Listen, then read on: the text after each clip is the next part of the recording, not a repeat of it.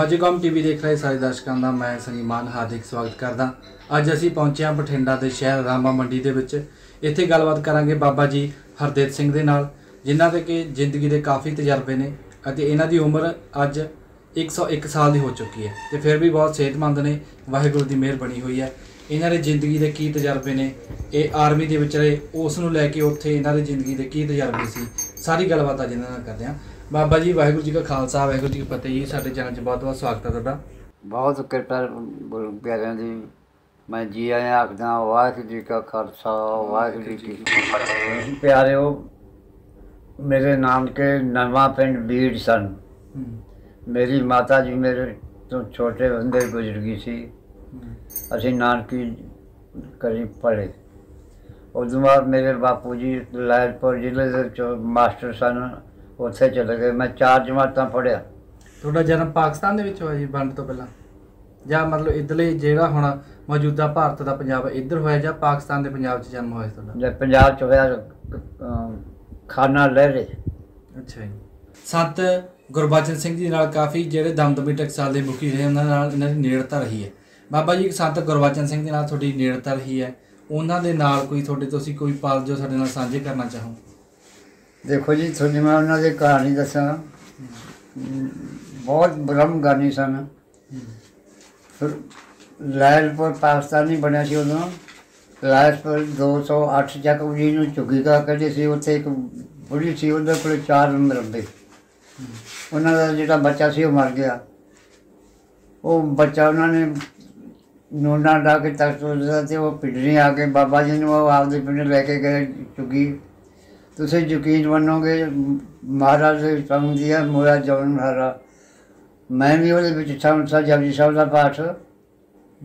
ਉਹ ਬੱਚਾ ਤਾਂ ਅਸੀਂ ਖੰਡ ਪਾਠ ਸ਼ੁਰੂ ਕਰਤਾ, ਬੱਚਾ ਹੁਣ ਤੱਕ ਪਾਸੇ ਮਰਿਆ ਹੋਇਆ, ਬੱਚਾ ਤੱਕ ਤੋਂ ਥੱਲੇ ਪਤਾ।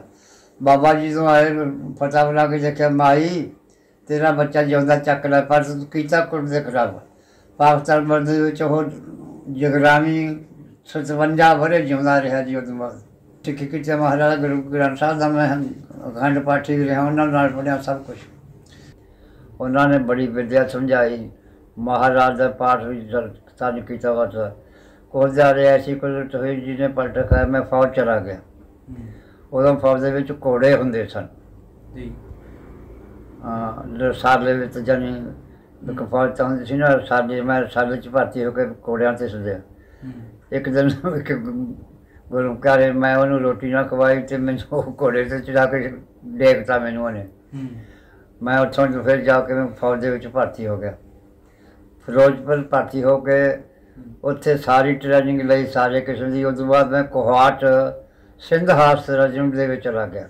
ਉਦੋਂ ਕੀ ਸ਼ਰਤਾਂ ਕੀ ਹੁੰਦੀਆਂ ਸੀ ਫੌਜ ਦੇ ਵਿੱਚ ਭਰਤੀ ਲਈ? ਜਿਵੇਂ ਹੁਣ ਕੱਦ ਤੇ ਪੜ੍ਹਾਈ ਦੀ ਸ਼ਰਤ ਹੁੰਦੀ ਹੈ ਇੰਨਾ ਪੜ੍ਹਿਆ ਹੋਣਾ ਉਦੋਂ ਤਾਂ ਜੀ ਲੜਾਈ ਲੱਗੀ ਸੀ ਕੋਈ ਖਾਸ ਸ਼ਰਤ ਨਹੀਂ ਸੀ। ਅੱਛਾ। ਹਰ ਇੱਕ ਨੂੰ ਭਰਤੀ ਕਰੀ ਜਾਂਦੇ ਸੀਗੇ। ਉਦੋਂ ਬਾਅਦ ਫਿਰ ਜੀ ਮੈਂ ਚਾਰ ਚਿਲਕ ਟੈਂਕ ਆਈ ਸੀ।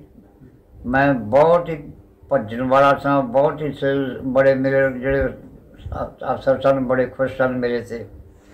ਉਹਨਾਂ ਨੇ ਮੈਨੂੰ ਚਾਰ ਚਾਰ ਟੈਂਕ ਦੇ ਖੁਰਦਾਰ ਛੇ ਬੰਦੇ ਗਏ ਅਸੀਂ, ਉਹ 12 12 ਜਮਾਤਾਂ ਪੜ੍ਹੇ ਤੇ ਮੈਂ ਇੱਕ ਜਮਾਤ ਪੜ੍ਹਿਆ ਚਨਾ ਚਾਰ ਜਮਾਤਾਂ ਪੜ੍ਹਿਆ ਉਹ ਪੰਪਲੇਟ ਕਰਕੇ ਆਪ ਨੂੰ ਟਰਾਈ ਕਰਿਆ, ਕਰਨ ਮੈਂ ਜਪਜੀ ਸਾਹਿਬ ਦਾ ਪਾਠ ਕਰੀ ਜਾਇਆ ਕਰਾਂ। ਐਸੇ ਮਹਾਰਾਜ ਜੀ ਕੋਲ ਜੋ ਰਿਜ਼ਲਟ ਆਇਆ ਉਹਨਾਂ ਦੇ ਥੋੜੇ ਨੰਬਰ ਮੇਰੇ, ਪੂਰੇ ਨੰਬਰ ਮੈਨੂੰ ਹੁਣ ਸਾਰ ਮੇਰੇ ਟ੍ਰੇਨਿੰਗ ਦੇ ਜਿਹੜਾ ਅਫਸਰ ਸੀ, ਉਹਨੇ ਮੈਨੂੰ ਚਾਰ ਫੀਸਦ ਲਾ ਕੇ ਦਫੇਦਾਰ ਬਣਾਤਾ ਦਫੇਦਾਰ ਬਣਾ ਕੇ ਫਿਰ ਮੈਂ ਅਹਿਮਦਾਨਗਰ ਬਹੁਤ ਚਲਾ ਗਿਆ ਟੈਂਕਾਂ ਦੇ ਵਿੱਚ, ਉੱਥੇ ਮੇਰੇ ਬੜੇ ਨੰਬਰ ਹੋਏ, ਬਹੁਤ ਕਿਰਪਾ ਕੀਤਾ ਹੈ। ਭੱਜਣ ਦੇ ਵਿੱਚ ਮੈਂ ਇੰਨਾ ਸਭ ਸਭ ਮੇਰਾ ਖਰ ਕਾਫੀ ਇੱਕ ਅੱਧਾ ਭਾਵੇਂ ਮੈਂ ਚਮੂਰੇ ਨਹੀਂ, ਮੈਂ ਸਾਰਿਆਂ ਤੋਂ ਮੂਰੇ ਚੱਲ ਜਾਂਦਾ ਸੀ। ਦੇਖੋ ਜੀ ਮੈਂ ਕੋਸ਼ਿਸ਼ ਕੀਤਾ ਸੀ ਫਿਟਰ ਸੀ ਮੈਂ। ਹੂੰ। ਟੈਂਕ ਕੀ ਜੀਵ ਦਾ ਇੰਜਨ ਤਾਂ ਮੈਂ ਇੱਕ ਦਿਨ ਜਿਹੀ ਖੋਲ ਕੇ ਨੂੰ ਸ਼ੁਰੂ ਕਰ ਦਿੰਦਾ ਸਾਂ। ਥੋੜੀ ਜਿਹੀ ਆਵਾਜ਼ 'ਚ ਫ਼ਰਕ ਹੈ ਮੇਰਾ। ਬਹੁਤ ਬਹੁਤ ਟਰਗਾਨ ਮੈਂ ਬਹੁਤ ਟ੍ਰੇਨਿੰਗ ਦਿੱਤੀ ਲੋਕਾਂ ਨੂੰ ਬੱਚਿਆਂ ਨੂੰ। ਖੁਸ਼ ਬੜੇ ਸੀ। ਉੱਥੇ ਫਿਰ ਸਾਡੀ ਡਿਊਟੀ ਹੁੰਦੀ ਸੀ ਕਿ ਬਾਬਾ ਜੀ ਟੈਂਬੀ ਕੋਲੇ ਉਹਨਾਂ ਦੀ ਸੇਵਾ ਕਰਨੀ ਹੋਰ ਬਹੁਤ ਕਰਨੀ। ਫੌਜ ਦੇ ਵਿੱਚ ਮੇਰਾ ਬਹੁਤ ਵੱਡਾ ਰੋਲ ਸੀ ਅਫਸਰ ਇੱਕ ਦਿਨ ਇੱਕ ਜੀਪ ਖ- ਖਰਾਬ ਹੋ ਗਈ। ਉਹ ਮੈਂ ਮਿੰਟ ਦੀ ਸਰਦੀ ਫਿਰ ਐਸਾ ਚਾਚਲ ਮੇਰੇ ਜਿਹੜਾ ਕਮਾਂਡਰ ਸੀ, ਕਰਨਲ ਸਾਹਿਬ ਬੜਾ ਖੁਸ਼ ਹੋਇਆ। ਉਹਨੇ ਮੈਨੂੰ ਟੈਂਕਾਂ 'ਚ ਭੇਜਤਾ। ਟੈਂਕ 'ਚ ਪਾ ਕੇ ਇੱਕ ਅਸੀਂ ਫਿਰ ਜਦੋਂ ਚਲੇ ਗਏ ਕਸ਼ਮੀਰ ਦੇ ਵਿੱਚ ਉਹ ਪੁਲ ਦੇ ਉੱਤੇ ਲਿਖਿਆ ਸੀਗਾ 30 ਸਿਰ ਸਾਡੇ ਟੈਂਕ ਸੀ 60 ਟਰੱਕ ਦੇ, ਅਸੀਂ ਥੱਲੇ ਦੀ ਜਾਂਦੇ ਸਾਂ। ਇੱਕ ਟੈਂਕ ਸਾਡਾ ਖੁੱਭ ਗਿਆ ਉੱਥੇ ਨਾਲੇ 'ਚ। ਬਹੁਤ ਜ਼ੋਰ ਲਾਇਆ, ਕਿਸੇ ਤੋਂ ਨਿਕਲਿਆ ਨਾ। ਫਿਰ ਟੀਏ ਸਾਹਿਬ ਕਹਿੰਦੇ, ਮੈਂ ਆਪਣਾ ਬੰਦਾ ਲਿਆਇਆ ਹਾਂ, ਲਿਆਓ ਜੀ, ਕਹਿੰਦੇ। ਜਦੋਂ ਉੱਥੇ ਕਹਿੰਦੇ, ਟੀਏ ਸਾਹਿਬ ਮੈਨੂੰ ਕਹਿੰਦੇ, ਤੈਨੂੰ ਯਾਦ ਕਰਦੇ ਆ, ਮੈਨੂੰ ਲੈ ਕੇ ਉੱਥੇ ਗਿਆ, ਮੈਂ ਮਹਾਤਮਾ ਜੀ ਚੌਪਈ ਸਾਹਿਬ ਦਾ ਪਾਠ ਕੀਤਾ ਬੈਟਰੀ ਹਿਲਾਈ ਟੈਂਕ ਸਟਾਰਟ ਹੋ ਗਿਆ ਆਪਣੇ ਆਪ ਬਾਹਰ ਆ ਗਿਆ, ਮਹਾਰਾਜ ਦੀ ਕਿਰਪਾ ਨਾਲ। ਉਹ ਬੜੇ ਖੁਸ਼ ਹੋਏ ਵੀ ਬੜਾ, ਬਹੁਤ ਬੰਦਾ ਵਧੀਆ ਖਬਰ ਕੀਤਾ ਮੈਂ ਜਦੋਂ ਆਉਣ ਲੱਗਿਆ ਮੈਨੂੰ ਜਾ- ਛੱਡਣ ਨਾਲ ਵੀ ਤੈਨੂੰ ਅਸੀਂ ਜਾਣ ਨਹੀਂ ਦਿੰਦੇ, ਹੋਰ ਕਰਾਂਗੇ ਕੁਛ। ਪਰ ਮੈਂ ਮੇਰੇ ਸਹੁਰਿਆਂ ਦੇ ਕੋਈ ਬੱਚਾ ਨਹੀਂ ਸੀ, ਉਹਨਾਂ ਨੇ ਮੈਨੂੰ ਜੋਰ ਪਾਇਆ, ਫਿਰ ਮੈਂ ਘਰੇ ਆ ਗਿਆ ਬਸ। ਮੈਂ ਉੱਥੇ ਥੋੜਾ ਜਿਹਾ ਫਸਟ ਏਡ ਦਾ ਕੰਮ ਸਿੱਖਦਾ ਸੀ, ਫਿਰ ਮੈਂ ਇੱਥੇ ਡਾਕਟਰੀ ਕਰਨ ਲੱਗ ਗਿਆ ਬਸ ਫੌਜ ਦਾ ਵੀ ਤਾਂ ਨਹੀਂ ਸੀ ਕੰਮ ਡਾਕਟਰੀ ਤੁਸੀਂ ਦੇਸੀ ਦਵਾਈਆਂ ਦੀ ਕੀਤੀ ਜਾਂ ਮਤਲਬ ਕਿਸ ਤਰ੍ਹਾਂ ਦੀ ਦਵਾਈ ਦਿੰਦੇ ਸੀ? ਦੇਸੀ ਜੀ। ਅੱਛਾ। ਬੈਦ ਤੁਹਾਡਾ ਕੋਈ ਤੁਸੀਂ ਗੁਰੂ ਧਾਰਿਆ ਜਾਂ ਕਿਵੇਂ ਸਿੱਖਿਆ ਪ੍ਰਾਪਤ ਕੀਤੀ ਦਵਾਈਆਂ ਬਾਰੇ? ਦਵਾਈਆਂ ਬਾਰੇ ਜੀ ਇੱਕ ਬੈਦ ਭਗਵਾਨ ਸਿੰਘ ਸੀ ਮੈਂ ਉਹਦੇ ਨਾਲ ਕੀਤੀ ਟ੍ਰੇਨ ਕੋ ਨੇ ਮੈਨੂੰ ਸਿਖਾਇਆ ਸਾਰਾ। ਮੇਰਾ ਤਜਰਬਾ ਸੀ ਜਿਹਦੇ ਬੱਚਾ ਨਾ ਹੁੰਦਾ ਬੀਬੀ ਦੇ। ਮੈਂ ਛੱਤ ਲਾ ਕੇ ਬੱਚਾ ਕੀਤਾ ਕਰੀ ਤਾਂ। ਹੋਰ ਵੀ ਕਈ ਤਜਰਬੇ ਸੀ ਬੱਚੇ ਦੇ ਬਹੁਤ ਕਈ ਕੀਤੇ। ਹੁਣ ਵੀ ਹੁਣ ਵੀ ਦੇ ਦਿੰਦੇ ਦਵਾਈ ਜੀ ਕੋਈ ਆਉਂਦਾ ਤਾਂ? ਦੇ ਦੇਣਾ ਜੀ। ਅੱਛਾ। ਹੁਣ ਵੀ ਮੇਰੀ ਐਡੀ ਉਮਰ ਆ, ਮੈਂ ਕ- ਕਈਆਂ ਨੂੰ ਆ ਹਵਾ ਹੁੰਦੀ ਹੁੰਦੀ ਹੈ ਹੂੰ। ਕਾਫੀ ਤਜਰਬਾ ਹੁਣ ਵੀ ਮੇਰਾ ਉਮਰ ਦੇ ਹਿਸਾਬ ਨਾਲ ਥੋੜੀ ਜਿਹੀ ਆਵਾਜ਼ ਥੋੜੀ ਜਿਹੀ ਫ਼ਰਕ ਹੈ ਜੀ। ਹੂੰ। ਇੱਕ ਸਾਡਾ ਕਿਹੜਾ ਸਾਡੇ ਇੱਕ ਬੰਦੇ ਨੂੰ ਲੈਟਰਿਨ ਲੱਗ ਗਈਆਂ ਪਟਿਆਲੇ ਰਜਿੰਦਰਾ ਹਸਪਤਾਲ ਵਿੱਚ। ਉਹ ਕਿਸੇ ਤੋਂ ਸੂਚਨਾ ਆਵੇ ਉਹਦਾ ਡਾਕਟਰ ਅਮਰਜੀਤ ਸਿੰਘ ਡਾਕਟਰ ਸੀ, ਉਹਨੂੰ ਕਹਿੰਦਾ ਮੁਰਦੇ ਘਾਟ ਸਿੱਟ ਦਿਓ। ਮੈਂ ਕਿਹਾ ਜੀ, ਸਾਨੂੰ ਇੱਕ ਰਾਤ ਹੋਰ ਦੇ ਦਿਓ। ਕਹਿੰਦਾ, ਕੀ ਕਰੇ ਸਾਡੇ ਬਿਮਾਰੀ ਫੈਲਾਉਂਦਾ ਇਹ। ਅਸੀਂ ਕੀ ਕੀਤਾ ਜੀ, ਸ਼ਰਾਬ ਤੇ ਗੰਢੇ ਦਾ ਪਾਣੀ ਮਿਲਾ ਕੇ ਉਹਨੂੰ ਦਿੱਤਾ, ਤੜਕੇ ਜਦੋਂ ਉਹ ਅਮਰਜੀਤ ਸਾਹਿਬ ਡਬਲ ਰੋਟੀ ਖਾਈ ਜਾਵੇ। ਡਾਕਟਰ ਸਾਹਿਬ ਕਹਿੰਦੇ, ਤੁਸੀਂ ਇਹਨੂੰ ਕੀਤਾ ਕੀ ਹੈ? ਮੈਂ ਬੈਠੋ ਜੀ, ਤੁਹਾਡੇ ਸਾਹਮਣੇ ਬੈਠਾ ਹੈ। ਤੇ ਇਹੋ ਜਿਹੇ ਕਈ ਤਜਰਬੇ ਸੀਗੇ, ਜਿਹੜੇ ਜ਼ਿੰਦਗੀ ਬਚਾਉਣ ਵਾਲੇ ਕੀਤੇ ਬਹੁਤ। ਜਿਹਦੇ ਤੀ ਪੈਣ ਦੇ ਬੱਚਾ ਪੁੱਠਾ ਹੁੰਦਾ ਸੀ ਮੈਂ ਇੱਕ ਮਿੰਟ ਲਾਉਂਦਾ ਸੀ ਕਦੇ ਜਿਹੜੇ ਡਾਕਟਰ ਵੱਡ ਵੱਡ ਕੇ ਕੱਢਦੇ ਸੀਗੇ ਜਿਵੇਂ ਕਿ 101 ਸਾਲ ਦੀ ਉਮਰ ਹੋ ਗਈ ਹੈ ਵਾਹਿਗੁਰੂ ਦੀ ਮਿਹਰ ਬਣੀ ਹੋਈ ਹੈ ਤੁਸੀਂ ਅਜੇ ਵੀ ਸਿਹਤਮੰਦ ਹੋ। ਕੀ ਰਾਜ ਹੈ ਇਹਦਾ? ਕਿਸ ਤਰ੍ਹਾਂ ਦੀ ਤੁਸੀਂ ਖੁਰਾਕ ਖਾਂਦੇ ਰਹੇ ਹੋ? ਜਿਹੜੇ ਤੁਹਾਨੂੰ ਸੁਣ ਰਹੇ ਨੇ ਦੇਖ ਰਹੇ ਨੇ ਦੂਰ ਦੂਰ ਤੱਕ ਤੁਹਾਡੀ ਵੀਡੀਓ ਜਾਊਗੀ ਤੁਸੀਂ ਕੀ ਉਹਨਾਂ ਨੂੰ ਸੰਦੇਸ਼ ਦਿਓਗੇ ਵੀ ਇਸ ਤਰ੍ਹਾਂ ਦੀ ਖੁਰਾਕ ਹੋਣੀ ਚਾਹੀਦੀ ਹੈ? ਦੇਖੋ ਜੀ ਮੈਂ ਤਾਂ ਸਾਈਕਲ ਚਲਾਉਂਦਾ ਸਾਂ ਉੱਥੋਂ ਮੈਂ ਪੱਠੇ ਜਿਉਂਦਾ ਸੀ 40 ਕਿਲੋ ਸਾਈਕਲ ਤੋਂ 7 ਕਿਲੋਮੀਟਰ ਤੋਂ। ਆਉਣ ਸਾਰ ਫਿਰ ਮੈਂ ਮਸ਼ੀਨ ਨਾਲ ਕੁਤਰਦਾ ਜਾ ਕੇ। ਹੂੰ। ਬਸ ਇਹ ਇਹੀ ਸੀ ਵੀ ਸਾਈਕਲ ਨੇ ਮੈਨੂੰ ਬਹੁਤ ਵਧੀਆ ਕੀਤਾ। ਹੂੰ। ਹੁਣ ਵੀ ਮੇਰੇ ਤੇ ਕਿਰਪਾ ਬਹੁਤ ਕਿਰਪਾ ਹੈ ਭਗਵਾਨ ਦੀ। ਇੱਕ ਤੁਹਾਡਾ ਅਸੀਂ ਤੁਹਾਡੇ ਬਾਰੇ ਸੁਣਿਆ ਸੀ ਤੁਸੀਂ ਜਦੋਂ ਸਾਈਕਲ ਲੈ ਕੇ ਆਏ ਸੀ ਖਰੀਦ ਕੇ ਲੈ ਕੇ ਆਏ ਸੀ ਤੁਸੀਂ ਲੰਬਾ ਪੈਂਡਾ ਸਾਈਕਲ ਤੇ ਤੈਅ ਕਰਕੇ ਆਏ ਸੀ ਕਿੱਥੇ ਕਿੱਥੇ ਰੁਕੇ ਉਹ ਕੀ ਗੱਲਬਾਤ ਸਾਨੂੰ ਦੱਸੋ। ਦੇਖੋ ਜੀ ਪਹਿਲਾਂ ਤਾਂ ਉੱਥੋਂ ਜੋ ਸਾਈਕਲ ਤੇ ਚੱਲੇ ਕਪੂਰਥਲੇ ਇੱਕ ਦੋਸਤ ਸੀ ਸਾਡਾ ਮੈਂ ਕਿਹਾ ਯਾਰ ਮੈਂ ਕਿੱਥੋਂ ਸਾਈਕਲ ਤੁਸੀਂ ਲਿਆ ਕਿੱਥੋਂ ਸੀ ਤੇ ਕੀਮਤ ਕਿੰਨੀ ਸੀ ਉਸ ਸਮੇਂ? ਜਲੰਧਰ ਸਾਈਕਲ ਲਿਆ ਜੀ 62 ਰੁਪਏ ਚ। ਹੂੰ। ਉੱਥੋਂ ਲੈ ਕੇ ਫਿਰ ਰਾਤ ਨੂੰ ਰਹੇ ਕਪੂਰਥਲੇ। ਕਪੂਰਥਲੇ ਜੋ ਚਲੇ ਫਿਰ ਪਹਿਲਾਂ ਕਈ ਮੇਰੇ ਯਾਦ ਵੀ ਨਹੀਂ ਹੈ ਕਈ ਥਾਂ ਉੱਥੋਂ ਕਈ ਪਿੰਡਾਂ ਦੇ ਹੋਏ ਜਿੱਥੇ ਨਹਿਰਾਂ ਚੱਲਦੀਆਂ। ਹੂੰ। ਉੱਥੋਂ ਫਿਰ ਮੈਂ ਜੋ ਮ- ਸੋਚਿਆ ਮੈਂ ਕਿਹਾ ਰਾਤ ਚੱਲਾਂਗੇ ਆਪਣੇ ਭਾਈ ਕੋਲੇ ਹੋਰ ਕਿਤੇ ਨਹੀਂ। ਉੱਥੋਂ ਫਿਰ ਮੈਂ ਜੀਰੇ ਜਾ ਰਹੇ ਹੁੰਦਿਆਂ ਹੋਇਆ ਮੋਗੇ ਆ ਗਿਆ ਜੀ। ਰਾਤ ਮੋਗੇ ਕੱਟੀ ਤੜਕੇ ਉੱਠ ਕੇ ਫਿਰ ਚਲਾ ਗਿਆ। ਸਾਰ ਕਈ ਪਿੰਡਾਂ ਦੇ ਵਿੱਚ ਹੁਣ ਮੇਰੇ ਯਾਦ ਘੱਟ ਹੈ। ਕਪੂਰਥਲੇ ਕੋਟਕਪੂਰੇ ਆ ਗਿਆ ਜੀ। ਕੋਟਕਪੂਰੇ ਉੱਥੇ ਮੇਰੇ ਭਰਾ ਦੀ ਇੱਕ ਸਾੜੀ ਲੈਂਦੀ ਸੀ ਉਹਨਾਂ ਦੇ ਘਰੇ ਰਿਹਾ ਮੈਂ। ਉਹਨਾਂ ਨੇ ਬੜੀ ਸੇ ਤੜਕੇ ਫਿਰ ਮੈਂ ਸਦਹੀਂ ਉੱਠ ਕੇ ਤੇ ਬੈਮਨ ਦਵਾਨੇ ਹੱਥ ਨੂੰ ਜਾ ਕਰਿਆ। ਮੇਰਾ ਮੁੰਡਾ ਬੰਗੀ ਵਿਆਹ ਸੀ ਮੇਰੀ ਸੱਸ ਕੁੜੀ ਦੇਖਣ ਗਈ। ਉਹ ਕਹਿੰਦੀ ਮੈਨੂੰ ਚੱਕਿਆ ਮੈਂ ਜਦੋਂ ਪਿੱਛੇ ਫਸਾ ਕੇ ਇੱਕ ਮਿੰਟ ਦੀ ਉੱਥੇ ਜਾ ਮਾਰਿਆ ਜੀ। ਬਹੁਤ ਸਾਈਕਲ ਦਾ ਮਾਸਟਰ ਸੀ ਤੇ ਸਾਈਕਲ ਤਾਂ ਮੈਂ ਹੁਣ ਵੀ ਇੰਨੀ ਉਮਰ ਦਾ ਮੇਰਾ ਖਿਆਲ ਹੁਣ ਤਾਂ ਹੁਣ ਵੀ ਚਲਾ ਲਾਂ ਅਬੇ ਜਦੋਂ ਉਦੋਂ ਤੁਸੀਂ ਸਾਈਕਲ ਲੈ ਕੇ ਆਏ ਸੀ। ਉਸ ਸਮੇਂ ਸਾਈਕਲ ਕਿੰਨੇ ਕੁ ਬੰਦਿਆਂ ਦੇ ਕੋਲ ਹੁੰਦਾ ਸੀਗਾ? ਸਾਰੇ ਪਿੰਡ ਦੇ ਵਿੱਚ ਜੀ ਇੱਕ ਸਾਈਕਲ ਸੀ। ਹੂੰ। ਸਾਡਾ ਮੇਰਾ ਪੁੰਨਿਆ ਹੋਇਆ ਸੀ ਉਹਨਾਂ ਕੋਲੇ ਸਾਈਕਲ ਸੀ। ਪਹਿਲਾਂ ਤਾਂ ਜੀ ਮੈਂ 60 ਕੁ ਮੀਲ ਤੁਰ ਕੇ ਆਉਂਦਾ। ਤੇ ਤੁਰ ਕੇ ਜਾਂਦਾ ਫਿਰ ਜਦੋਂ ਮੈਨੂੰ ਕੋਈ ਥੋੜਾ ਚਿਰ ਰਿਹਾ ਮੇਰੇ ਕੋਲੇ ਪੈਸੇ ਆ ਗਏ ਮੈਂ ਨਵਾਂ ਇੱਕ ਹੋਰ ਸਾਈਕਲ ਖਰੀਦ ਲਿਆ। ਉਹ ਜਿਹੜਾ ਉੱਥੋਂ ਲਿਆ ਸਾਈਕਲ ਉਹ ਉਹ ਮੇਰੇ ਭਰਾ ਦੇ ਸਾਰਾ ਪੜਦਾ ਸੀ ਉਹਨਾਂ ਨੂੰ ਦਿੱਤਾ ਸੀਗਾ।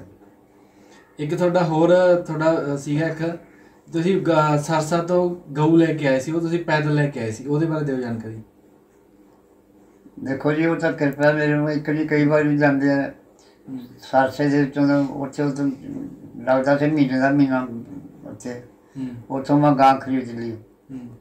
ਬਸ ਉੱਥੋਂ ਮੈਂ ਹੌਲੀ ਹੌਲੀ ਜਾ ਕੇ ਚੱਕ ਕੇ ਇੱਥੇ ਆ ਗਿਆ ਜੀ ਦੇਖ। ਉਦੋਂ ਸਾਰੇ ਲੋਕ ਹੀ ਪੈਦਲ ਯਾਤਰਾ ਕਰਦੇ ਹੁੰਦੇ ਸੀ ਜਾਂ ਕੋਈ ਸਾਧਨ ਹੋਰ ਵੀ ਹੁੰਦੇ ਸੀ ਸਾਈਕਲ ਤੋਂ ਬਿਨਾਂ? ਕੋਈ ਸਾਧਨ ਨਹੀਂ ਸੀ ਜੀ ਐਡਾ ਬਸ। ਇੱਕ ਗੱਡੀ ਚੱਲਦੀ ਸੀਗੀ ਇੱਕ ਰਾਤ ਹੀ ਚੱਲਦੀ ਸਾਰਾ ਮਸਾਂ ਉਹ ਬੰਦਾ ਉਹਨੂੰ ਅੰਦਰ ਰੇਤਾ ਰਾਤਾ ਬੜਾ ਸੀ ਉਹਦੀ। ਗੱਡੀ ਤੁਰੀ ਜਾਂਦੀ ਤੇ ਉਤਰ ਜਾਂਦੇ ਚੜ ਜਾਂਦੇ। ਹੂੰ। ਹਾਂ ਬਾਬਾ ਜੀ ਜਿਵੇਂ ਤੁਸੀਂ ਦੱਸਿਆ ਕਿ ਤੁਹਾਡੀ ਸਿਹਤ ਦਾ ਇੱਕ ਰਾਜ ਤੁਸੀਂ ਐਕਸਰਸਾਈਜ਼ ਬਹੁਤ ਕਰਦੇ ਸੀ ਸਾਈਕਲ ਬਹੁਤ ਚਲਾਇਆ।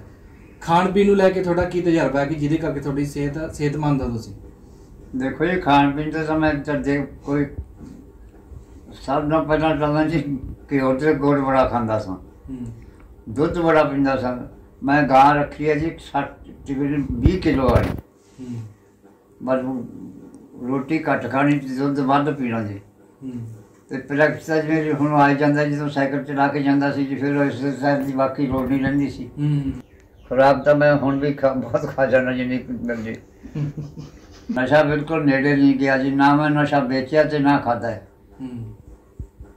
ਕਈਆਂ ਨੂੰ ਮੈਂ ਨਸ਼ਾ ਹਟਾਇਆ ਵੀ ਹੈ ਜੀ ਭਾਈ ਤੁਸੀਂ ਨਸ਼ਾ ਨਾ ਖਾਇਆ ਕਰੋ। ਅੱਜ ਤੱਕ ਮੈਂ ਕੋਈ ਬਾਜ਼ਾਰ ਦੀ ਚੀਜ਼ ਨਹੀਂ ਖਾਧੀ ਹੁਣ ਵੀ ਨਹੀਂ ਖਾਂਦਾ। ਚਾਹ ਜਿਹੜੀ ਮੈਂ ਆਹ ਕੱਪਾਂ ਨਹੀਂ ਪੀਂਦਾ ਚਾਹ ਮੈਂ ਪੀਂਦਾ ਜਾਂ ਗਲਾਸ ਜਾਂ ਬਾਟੀ ਚ। ਠੀਕ। ਇੱਕ ਤੁਸੀਂ ਲੰਬਾ ਸਮਾਂ ਤੁਸੀਂ ਆਰਮੀ ਦੇ ਵਿੱਚ ਰਹੇ ਹੋ ਉਸ ਦਰਮਿਆਨ ਕੋਈ ਜੰਗ ਹੋਈ ਹੋਊਗੀ ਤੁਸੀਂ ਕਿਸੇ ਜੰਗ ਦੇ ਵਿੱਚ ਹਿੱਸਾ ਲਿਆ ਤਾਂ ਉਹ ਤਜਰਬਾ ਸਾਡੇ ਨਾਲ ਸਾਂਝਾ ਕਰੋ ਤੁਸੀਂ। ਜੰਗ ਦੇ ਵਿੱਚ ਜੀ ਮੈਂ ਸਾਲ 42 ਦੇ ਵਿੱਚ ਭਰਤੀ ਹੋਇਆ ਸੀ।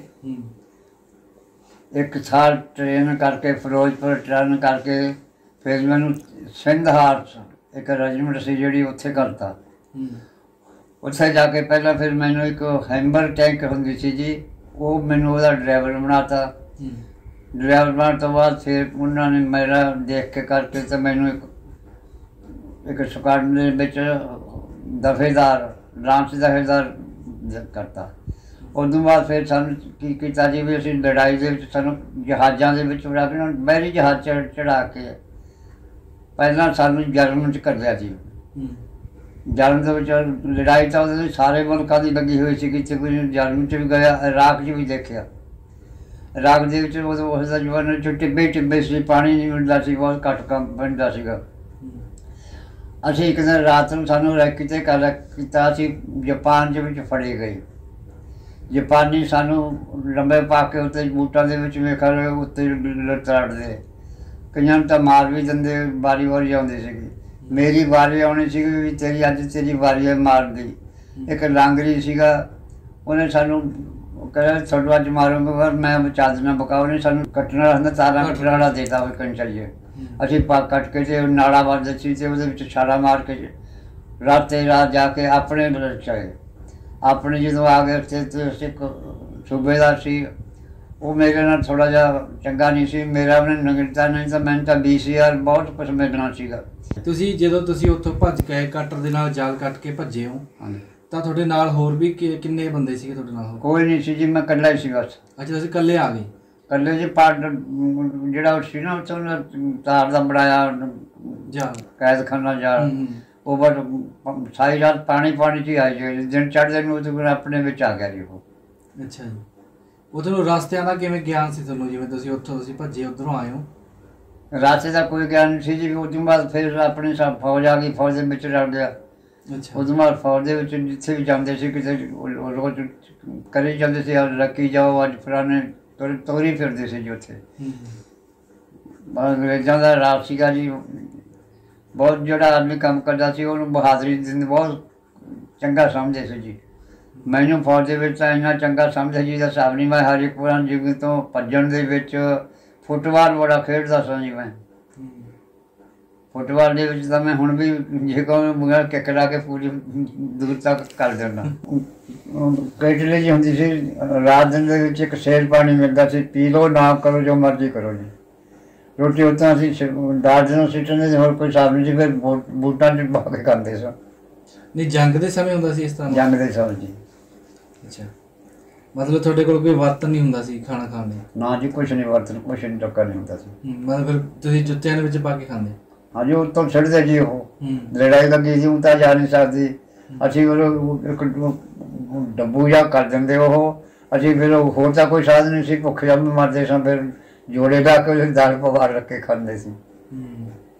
ਫਿਰ ਬਾਅਦ ਮੈਨੂੰ ਜੀ ਉਹਨਾਂ ਨੇ ਫੈਜ਼ਾਬਾਦ ਕੋਰਸ ਤੇ ਕਰਤਾ। ਕੋਰਸ ਦੇ ਵਿੱਚ ਫਿਰ ਮੈਂ ਜੀਪ ਦਾ ਇੰਜਨ ਪੂਰਾ ਥੱਲੇ ਲਾ ਕੇ ਤੇ ਨਵਾਂ ਬੰਨ ਦਿੰਦਾ ਸਾਂ ਜੀ। ਇੰਨਾ ਖੁਸ਼ੀ ਹੋਈ ਮੈਨੂੰ ਜਿਹਦਾ ਹਿਸਾਬ ਨਹੀਂ ਮੈਨੂੰ ਅੰਗਰੇਜ਼ ਨੇ ਇੱਕ ਨੇ 400 ਰੁਪਇਆ ਉਸ ਟਾਈਮ ਦੇ ਉੱਤੇ ਬੜਾ ਕੁਛ ਸੀ 400 ਰੁਪਇਆ ਦਿੱਤਾ ਜੀ ਇਨਾਮ ਦਾ। ਹੂੰ। ਤੇ ਬਹੁਤ ਹੀ ਬਹਾਦਰੀ ਜਿੰਨਾ ਕਿ ਫੌਜ ਬਹੁਤ ਚੰਗੀ ਨੌਕਰੀ ਕੀਤੀ। ਉਸ ਤੋਂ ਬਾਅਦ ਫਿਰ ਜੀ ਮੈਂ ਆਪਣੇ ਆਪ ਫੌਜ ਚੋਂ ਆ ਗਿਆ। ਬਾਬਾ ਜੀ ਇੱਕ ਹੋਰ ਯਾਦ ਜੁੜੀ ਹੋਈ ਆ। ਤੁਸੀਂ ਇੱਕ ਵਾਰ ਟ੍ਰੇਨ ਤੇ ਭੱਜ ਕੇ ਚੜੇ ਸੀ ਉਹ ਕੀ ਗੱਲਬਾਤ ਸੀ? ਬਸ ਉਹੀ ਸੀ ਜੀ ਉਹ ਉਹ ਤਾਂ ਉਹ ਤਾਂ ਸ਼ਾਇਦ ਫੌਜੀ ਵੇਲੇ ਦੀ ਗੱਲ ਹੈ ਜੀ ਉਹ। ਹੂੰ। ਥੋੜੀ ਛੁੱਟੀ ਮਿਲਦੀ ਸੀ ਉਦੋਂ ਗੱਡੀ ਨੇ ਚੀਖ ਮਾਰੀ ਮੈਂ ਕਰੇ ਸਾਂ ਜੀ। ਛੁੱਟੀ ਉਹਨੇ ਸੀ ਫਿਰ ਉੱਥੋਂ ਫਿਰ ਜਿਉਂ ਭੱਜਿਆ ਮੇਰੇ ਉਹ- ਕਿੰਨੀ ਦੂਰ ਕਿੰਨੀ ਸੀ ਘਰ ਤੋਂ ਰੇਲਵੇ ਸਟੇਸ਼ਨ ਉਸ ਸਮੇਂ? ਹੋ ਗਈ 400 400 ਦਾ ਤਕਰੀਬ ਹੂੰ ਹੂੰ। ਉਹ ਕੁੱਤਾ ਮਗਰ ਸਕੇ ਮੈਂ ਉਹ ਤੋਂ ਛਾਲ ਮਾਰ ਕੇ ਗੱਡੀ ਜਾ ਚੜਿਆ ਜੀ ਕਿਹੜਾ ਕੁਝ ਕਰ ਹਿੰਮਤ ਬੜੀ ਸੀ ਜਿਵੇਂ ਵਿੱਚ ਹੂੰ। ਜਿਹੜੇ ਸਾਡੇ ਪੀਟੀ ਕਰਾਉਂਦੇ ਨਾਲ ਵਿੱਚ ਸਾਡੇ ਜਦੋਂ ਪਜਾਉਂਦੇ 12 ਫੁੱਟ ਦੀ ਜਦੋਂ ਮੈਂ ਛਾਲ ਮਾਰ ਕੇ ਉੱਥੋਂ ਕੇ ਆਉਂਦਾ ਸੀ।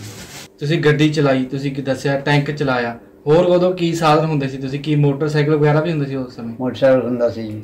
ਕਿਹੜਾ ਮੋਟਰਸਾਈਕਲ ਹੁੰਦਾ ਸੀ? ਰਾਨ ਫੀਲਡ ਮੋਟਰਸਾਈਕਲ ਦੀ ਅੱਡਾ ਤੇਜ਼ ਚਲਾਉਂਦੇ ਸਨ ਜਾਨੀ ਜਿਵੇਂ ਉਹਦਾ ਬ੍ਰੇਕ ਦਬਣਾ ਛਾਲ ਮਾਰ ਕੇ ਸੂਆ ਟੱਪ ਜਾਂਦਾ ਸੀ ਜੀ। ਹਲੇ ਮੈਂ ਤਾਂ ਦੱਸਣ ਸਾਨੂੰ ਮੈਂ ਜੀ ਹਵਾਈ ਜਹਾਜ਼ ਵੀ ਚਲਾਇਆ ਹਵਾਈ ਜਹਾਜ਼ ਤੋਂ ਵੀ ਛਾਲਾਂ ਮਾਰੀਆਂ। ਨੇ। ਅੱਛਾ ਜੀ। ਮੈਂ ਰੋਜ਼ ਹੀ ਜੰਮੂ ਤੋਂ ਕਸ਼ਮੀਰ ਜਾਂਦਾ ਰੋਜ਼ ਡਾਕ ਲੈ ਕੇ। ਹੂੰ। ਤੇ ਫਿਰ ਪਹਿਲੀ ਜਦੋਂ ਛਾਲ ਮਾਰਨ ਲੱਗੀ ਪਹਿਲਾਂ ਤਾਂ ਜੀ ਡਰ ਬੜਾ ਲੱਗਿਆ। ਫਿਰ ਤਿੰਨ ਛਾਲਾਂ ਮਰਵਾਉਂਦੇ ਸੀ ਤਿੰਨ ਛਾਲਾਂ ਵੀ ਮਾਰੀਆਂ ਮੈਂ ਹਵਾਈ ਜਹਾਜ਼ ਤੋਂ। ਅੱਛਾ ਜਦੋਂ ਤੁਸੀਂ ਜਿਹੜੀ ਤੁਸੀਂ ਛਾਲ ਮਾਰਦੇ ਸੀ ਕਿੰਨੀ ਉਚਾਈ ਤੋਂ ਮਾਰਦੇ ਸੀ? ਦੇਖੋ ਜਿੰਨੀ ਕਿ ਮੈਨੂੰ ਬਾਹਰ ਲੰਬਾ ਤਾਂ ਨਹੀਂ ਪਤਾ ਪਰ ਦੇਖੋ ਜਿੰਨਾ ਹਵਾਈ ਜਹਾਜ਼ ਬਹੁਤ ਉੱਚਾ ਹੁੰਦਾ ਹੈ। ਜਿਵੇਂ ਚੱਲਦਾ ਉਸ ਤੋਂ ਮਰਵਾਉਂਦੇ ਸੀ ਪਹਿਲਾਂ ਉਹਦੇ ਬਾਰੇ ਚ ਕਢਾ ਕੇ ਇੱਕ ਪਹਿਲਾ ਸ਼ੂਟ ਲੱਕ ਨੂੰ ਬੰਨਿਆ ਹੁੰਦਾ ਸੀ ਜੀ। ਜੇ ਤਾਂ ਖੁੱਲ ਜੇ ਫਿਰ ਤਾਂ ਠੀਕ ਹੈ ਜੇ ਨਾ ਖੁੱਲੇ ਆਦਮੀ ਮਰ ਵੀ ਜਾਂਦਾ ਸੀ। ਸਾਡੇ ਇੱਕ ਆਦਮੀ ਮਰ ਵੀ ਗਿਆ ਸੀ। ਮੈਂ ਤਾਂ ਤਿੰਨ ਛਾਲਾਂ ਮਾਰੀਆਂ ਬੜੇ ਵਧੀਆ ਪ੍ਰੇਮ ਨਾਲ। ਅੱਛਾ ਉਹ ਪਹਿਲਾ ਸ਼ੂਟ ਦੀਆਂ ਰੱਸੀਆਂ ਜਿਹੀਆਂ ਹੁੰਦੀਆਂ ਸੀ। ਆਪਦੀ ਮਰਜ਼ੀ ਨਾਲ ਜਿੱਧਰ ਉਹਨੂੰ ਮੋੜ ਵੀ ਸਕਦੇ ਸੀ। ਵੀ ਰਹੇ। ਚੰਗੀ ਜਗ੍ਹਾ ਤੇ ਜਿੱਥੇ ਦੇਖਣਾ ਵੀ ਸਾਫ਼ ਹੈ ਉੱਥੋਂ ਉਤਾਰ ਲੈਂਦੇ ਸੀ। ਜਿਵੇਂ ਤੁਹਾਡੇ ਤਜਰਬੇ ਆ ਤੁਸੀਂ ਉਧਰ ਕੈਦ ਹੋ ਗਏ ਸੀ ਉਧਰ ਭੱਜ ਕੇ ਵੀ ਆਏ। ਉਸ ਨੂੰ ਲੈ ਕੇ ਤੁਹਾਨੂੰ ਕੋਈ ਸਨਮਾਨਿਤ ਵੀ ਕੀਤਾ ਗਿਆ ਸੀ ਇੰਡੀਅਨ ਆਰਮੀ ਵੱਲੋਂ? ਇਹ ਸਨਮਾਨ ਦਿੱਤਾ ਬਹੁਤ ਬੜਾ ਕਰਦਾ ਇੱਕ ਸੂਬੇਦਾਰ ਸੀਗਾ। ਨਿਹਾਲ ਸਿੰਘ ਉਹ ਮਾਝੇ ਦਾ ਸੀ ਜਿਹਨੇ ਮੈਨੂੰ ਮੇਰਾ ਨਾਮ ਕੱਟ ਕੇ ਉਹਨਾਂ ਨੇ ਆਪਦੇ ਬੰਦੇ ਨੂੰ ਦਵਾਤਾ ਸੂਬੇਦਾਰ ਸੀ ਉਹਨਾਂ ਨੇ। ਨਹੀਂ ਤਾਂ ਮੈਂ ਤਾਂ ਬੀਐਸਐਫ ਮੇਂ ਗ੍ਰਾਂਟ ਸੀਗਾ ਉਹਦੇ ਵਿੱਚ ਬਹੁਤ ਸਹੂਲਤਾਂ ਸੀ। ਇੱਥੋਂ ਤੱਕ ਚੌਥੇ ਵੀ ਰੇਲਵੇ ਲਾਈਨ ਆਪਣੇ ਪਿੰਡ ਤੱਕ ਉਦੋਂ ਮਿਲ ਜਾਂਦੀ ਸੀ ਉਹ ਮੁੰਡੇ ਨੂੰ ਫਿਰ ਚਲੀ ਗਈ ਸੀ। ਇਹਨਾਂ ਨੇ ਦੱਸਿਆ ਕਿ ਇੱਕ ਔਰਤ ਨੂੰ ਇਹਨਾਂ ਨੇ ਰਿਚ ਤੋਂ ਬਚਾਇਆ ਸੀ ਜਿਹੜਾ ਕਿ ਇੱਕ ਮਾਸਾਹਾਰੀ ਰਿਚ ਸੀ। ਉਹ ਇੱਕ ਜਾਨ ਲੈਣ ਲੱਗਿਆ ਸੀ ਇੱਕ ਔਰਤ ਦੀ ਉਸ ਤੋਂ ਬਾਬਾ ਜੀ ਨੇ ਇਹਨਾਂ ਨੇ ਬਚਾਇਆ ਸੀਗਾ ਤੇ ਰਿਚ ਨੂੰ ਮਾਰ ਦਿੱਤਾ ਸੀ। ਬਾਬਾ ਜੀ ਇਹ ਕੀ ਗੱਲਬਾਤ ਸੀ? ਦੇਖੋ ਜੀ ਅਸੀਂ ਸਾਨੂੰ ਉੱਥੇ ਫੌਜ ਦੇ ਵਿੱਚ ਰੇਕੀ ਰਾਤ ਨੂੰ ਕਰਦੇ ਸਾਂ। ਵੀ ਕਿਹੜਾ ਰਾਸਤਾ ਪਾਕਿਸਤਾਨ ਨੂੰ ਜਾਊਗਾ ਜੋ ਕੁਛ ਹੈ। ਅਸੀਂ ਜੋ ਕੋਈ ਤਕਰੀਬਨ 6-7 ਬੰਦੇ ਹੁੰਦੇ ਸੀ ਸਾਡੇ ਕੋਲ ਹਥਿਆਰ ਹੁੰਦੇ ਸੀ ਪੂਰੇ। ਸਾਨੂੰ ਇੱਕ ਆਵਾਜ਼ ਚੂੰ ਚੂੰ ਚੂੰ ਕਰਦੀ ਆਵਾਜ਼ ਆਈ ਅਸੀਂ ਦੇਖਿਆ ਜਾ ਕੇ ਤਾਂ ਉੱਥੇ ਇੱਕ ਔਰਤ ਪਈ ਜਵਾਂ ਨੰਗੀ। ਉਹ ਵੈਸੇ ਉਹ ਜੋ ਮਾੜਾ ਮੋਟਾ ਦੱਸਦੀ ਉਹ ਕਹਿੰਦੀ ਮੈਨੂੰ ਰਿਸ ਚੱਕ ਕੇ ਲਿਆਇਆ ਸੀ। ਤੁਹਾਨੂੰ ਮਾਰ ਦੂਗਾ ਉਹ ਤੁਹਾਨੂੰ ਤੁਸੀਂ ਛੱਡ ਹੂੰ। ਅਸੀਂ ਕਿਹਾ ਕੋਈ ਨਹੀਂ ਸਾਨੂੰ ਮਾਰ ਰਿਸ ਜਦੋਂ ਆਇਆ ਨਾ ਜੀ ਉਹ ਉਹਨੇ ਦੇਖਿਆ ਵੀ ਸਾਡੇ ਵੱਲ ਨੂੰ ਉਹਨੇ ਹੱਲਾ ਕੀਤਾ। ਸਾਡੇ ਕੋਲੇ ਬਰੇਨ ਵਾਸਤੇ ਅਸੀਂ ਤਲਵਾਰ ਮਾਰੇ ਦੋ ਰੈਸਟ ਮਾਰੇ ਉਹਨੂੰ ਰਾ ਕੇ ਮਾਰਤਾ। ਉਦੋਂ ਬਾਅਦ ਫਿਰ ਅਸੀਂ ਉਹ ਜਿਹੜੀ ਔਰਤ ਸੀ ਉਹਦੇ ਘਰੇ ਪਹੁੰਚਾਇਆ ਉਹਨੇ ਦੱਸਿਆ ਵੀ ਮੈਨੂੰ ਇਸ ਤਰੀਕੇ ਨਾਲ ਇੱਥੇ ਚੱਕ ਕੇ ਲੈ ਗਿਆ ਸੀਗਾ। ਮੇਰੇ ਨਾਲ ਬੜੇ ਹਾਲਤ ਕੀਤੀ ਰਹੀ ਹੈ ਮੈਨੂੰ ਕੋਈ ਕੱਪੜਾ ਨਹੀਂ ਦੇਣਾ ਨਹੀਂ ਦੇਣਾ ਨਹੀਂ। ਅਸੀਂ ਫਿਰ ਉਹਦੀ ਕਿਰਪਾ ਨਾਲ ਤੇ ਘਰੇ ਛੱਡ ਦਿੱਤੇ। 1947 ਦੀ ਵੰਡ ਦਾ ਜਿਹੜਾ ਖੌਫਨਾਕ ਸੀਨ ਸੀਗਾ, ਉਹ ਇਹਨਾਂ ਨੇ ਆਪਣੇ ਅੱਖੀਂ ਦੇਖਿਆ ਹੋਇਆ। ਬਾਬਾ ਜੀ, ਕਿਸ ਤਰ੍ਹਾਂ ਦਾ ਮਾਹੌਲ ਸੀ? ਕਿਵੇਂ ਦੇਖਿਆ ਤੁਸੀਂ? ਕੋਈ ਜਾਂ ਤੁਹਾਡੇ ਨਾਲ ਤੁਹਾਡੇ ਸਾਥੀ ਹੋਣਗੇ ਪਾਕਿਸਤਾਨ ਦੇ ਵਿੱਚ ਗਏ ਹੋਣ ਹੁਣ? ਜਾਂ ਉਦੋਂ ਕਿਸੇ ਕੋਈ ਮਾਰਿਆ ਗਿਆ ਹੋਵੇ, ਉਹ ਕੋਈ ਜਾਣਕਾਰੀ ਦਿਓ ਉਹਦੇ ਬਾਰੇ। ਦੇਖੋ ਗੁਰੂ ਪਿਆਰਿਓ, ਸਾਨੂੰ ਗਵਰਨਮੈਂਟ ਨੇ ਲਾਤਾ ਵੀ ਜਿਹੜੇ ਪਾਕਿਸਤਾਨ ਚ ਬੰਦੇ ਨੂੰ, ਉਹਨਾਂ ਨੂੰ ਮਾਰਨਾ ਨਹੀਂ, ਸਹੀ ਸਲਾਮਤ ਉਧਰ ਕਰਨਾ ਉਧਰੋਂ ਆਪਣੇ ਕਿਹੜਾ ਗੱਡੀ ਆਈ ਸੀ ਇੱਕ। ਐਡੀ ਬੁਰੀ ਹਾਲਤ ਸੀ ਕਿ ਬੱਚਿਆਂ ਦੀ ਤੇ ਬੁੜੀਆਂ ਦੀ ਜਿਹਦਾ ਸਾ- ਬੁਰੀ ਹਾਲਤ। ਕਈ ਬੀਬੀਆਂ ਦੇ ਤਾਂ ਉਹਨਾਂ ਨੇ ਦੁੱਧ ਵਾਲੇ ਵੱਡੇ ਵੱਡੇ ਸੀ, ਸਭ ਕੁਝ ਜਦੋਂ ਅਸੀਂ ਇਹੋ ਜਿਹਾ ਸਾਹਿਬ ਦੇ ਸਾਨੂੰ ਸਮਾਣਾ ਤੇ ਡਿਊਟੀ ਲਾਤਾ ਕਰਨਲ ਉਦੋਂ ਰਹਿੰਦਾ ਸੀਗਾ, ਸਾਡੇ ਕੱਲੇ ਕੱਲੇ ਥੋੜੇ ਥੋੜੇ ਬਾਕੀ ਗਏ ਸੀ। ਹੁਕਮ ਮਿਲਦਾ ਸੀ ਵੀ ਜਿਹੜੇ ਹੁਣੇ ਚਾਹੁੰਦੇ ਵਿਆਹ ਪਾਕਿਸਤਾਨ ਚ ਗਏ ਕਈ ਬੀਬੀਆਂ ਨੇ ਤਾਂ ਮੱਥੇ ਦੇ ਉੱਤੇ ਪਾਕਿਸਤਾਨ ਦਿਖਾਤਾ ਸੀ ਉਹਨਾਂ ਨੇ। ਉਹ ਤਾਂ ਕਹਿੰਦੇ ਅਸੀਂ ਜਾਂਦੀਆਂ ਨਹੀਂ ਕਈਆਂ ਨੂੰ ਅਸੀਂ ਲੈ ਕੇ ਵੀ ਆਏ ਸੀ ਉਹ ਜੀ ਜਦੋਂ ਇਹ ਜਦੋਂ ਜਿਹੜੇ ਆਪਣੇ ਬੰਦੇ ਸੀ ਨਾ ਉਹ ਸਿੱਖਾਂ ਸਿੱਖ ਮੁਸਲਮਾਨਾਂ ਨੂੰ ਮਾਰਦੇ ਸੀ।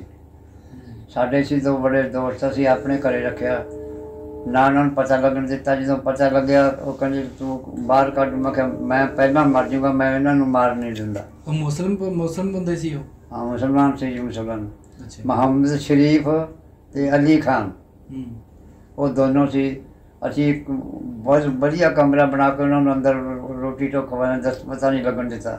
ਜਦੋਂ ਪਤਾ ਲੱਗਿਆ ਉਹਨਾਂ ਨੂੰ, ਫਿਰ ਸਾਡੇ ਨੂੰ ਕਹਿੰਦੇ ਅਸੀਂ ਅਸੀਂ ਕਿਹਾ, ਪਹਿਲਾਂ ਸਾਨੂੰ ਮਾਰੋ, ਫਿਰ ਇਹਨਾਂ ਨੂੰ ਮਾਰ ਦੇਵਾਂਗੇ। ਅਸੀਂ ਮਾਰ ਨਹੀਂ ਦਿੱਤਾ। ਫਿਰ ਅਸੀਂ ਰਾਤ ਰਾਤ ਨੂੰ ਪਾਕਿਸਤਾਨ ਛੱਡੇ ਕੋਈ ਪਰਿਵਾਰ ਜਾਂ ਕੋਈ ਤੁਹਾਡਾ ਕੋਈ ਦੋਸਤ ਜਿਹੜਾ ਪਾਕਿਸਤਾਨ ਦੇ ਵਿੱਚ ਰਹਿ ਗਿਆ ਹੋਵੇ, ਬੰਦ ਤੋਂ ਬਾਅਦ ਕਰੇ ਤੁਸੀਂ, ਉਹਨਾਂ ਨਾਲ ਸੰਪਰਕ ਕੀਤਾ ਜਾਂ ਤੁਹਾਨੂੰ ਪਤਾ ਹੋਵੇ ਵੀ ਬੰਦਾ ਸਾਡੇ ਜਾਣਕਾਰ ਕਿੱਥੇ ਨੇ ਉਧਰ? ਦੇਖੋ ਜੀ, ਸਾਨੂੰ ਕੱਢਿਆ ਸੀ ਜਦੋਂ ਪੀਸ ਤਕਰੀਬਨ ਹਟ ਗਿਆ ਸੀ। ਸਾਡੇ ਬੰਦੇ ਉਧਰ ਜਿਹੜੇ ਆਉਂਦੇ ਸੀ, ਬੰਦੇ ਤਾਂ ਕੋਈ ਵੱਡੇ ਵੱਡੇ ਦੋ ਬੰਦੇ ਸੀ ਉਧਰ ਵੀ ਤਨ ਉਹ ਸਾਨੂੰ ਕਹਿੰਦੇ ਵੀ ਅਸੀਂ ਉਧਰ ਜਾਣਾ ਚਾਹੁੰਦੇ ਹਾਂ ਜੀ।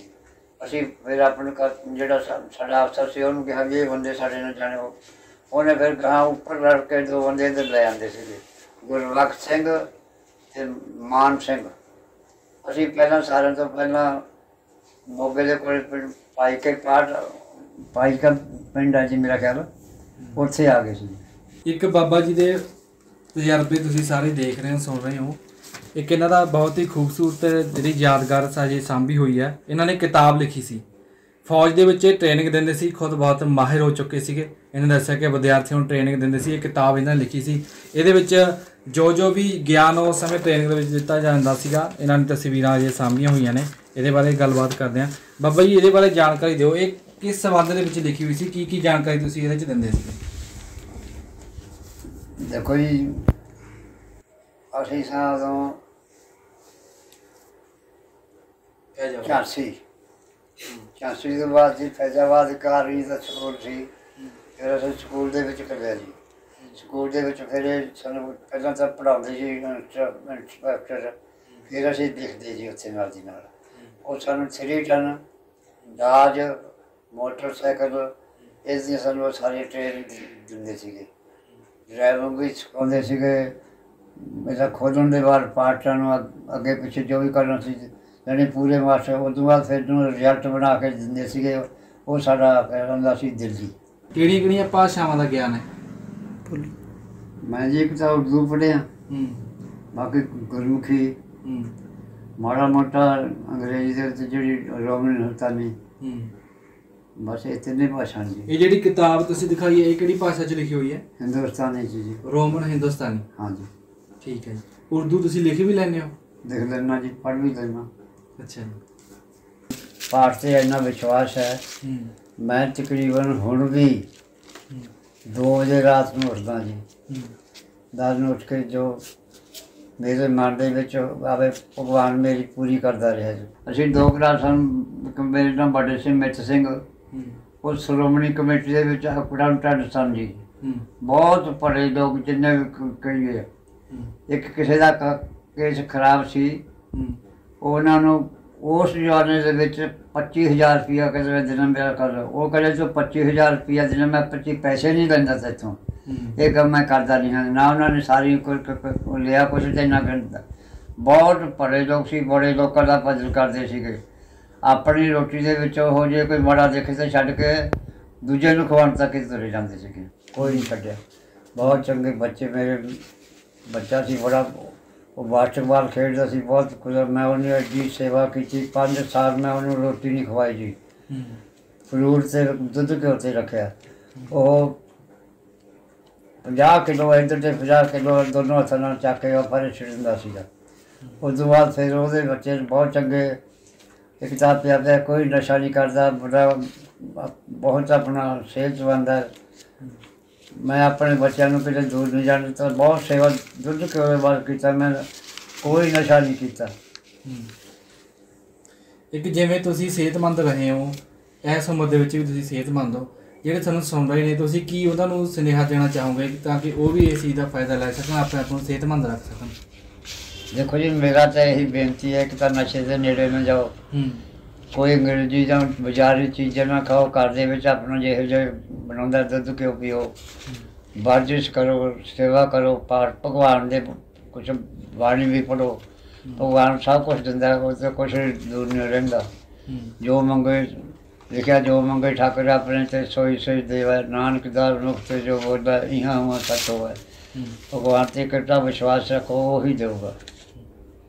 ਸੋ ਬਹੁਤ ਬਹੁਤ ਧੰਨਵਾਦ ਜੀ, ਬਾਬਾ ਜੀ ਹਰਜੀਤ ਸਿੰਘ ਜੀ ਦਾ। ਇਹਨਾਂ ਨੇ ਆਪਣੇ ਜ਼ਿੰਦਗੀ ਦੇ ਤਜਰਬੇ ਸਾਡੇ ਨਾਲ ਸਾਂਝੇ ਕੀਤੇ ਤੇ ਬੜਾ ਹੀ ਦਿਲਚਸਪ ਸਾਨੂੰ ਲੱਗਿਆ। ਮੈਂ, ਮੈਨੂੰ ਤਾਂ ਇਹ ਮਹਿਸੂਸ ਹੀ ਨਹੀਂ ਹੋ ਰਿਹਾ ਕਿ ਮੈਂ ਕਿ ਇੰਟਰਵਿਊ ਕਰ ਰਿਹਾ। ਬੜੀ ਖੁਸ਼ੀ ਹੋਈ ਜਿਵੇਂ ਇਹਨਾਂ ਨਾਲ ਅਸੀਂ ਗੱਲਾਂ ਬਾਤਾਂ ਸਾਂਝੀਆਂ ਕੀਤੀਆਂ। ਬਹੁਤ ਸੋਹਣੇ ਤਜਰਬੇ ਇਹਨਾਂ ਦੀ ਜ਼ਿੰਦਗੀ ਦੇ। ਸੋ ਅਸੀਂ ਆਸ ਕਰਦੇ ਹਾਂ ਕਿ ਬਾਬਾ ਜੀ ਅੱਗੇ ਵੀ ਸਿਹਤਮੰਦ ਰਹਿਣ। ਵਾਹਿਗੁਰੂ ਜੀ ਕਾ ਖਾਲਸਾ, ਵਾਹਿਗੁਰੂ ਜੀ ਕੀ ਫਤਿਹ।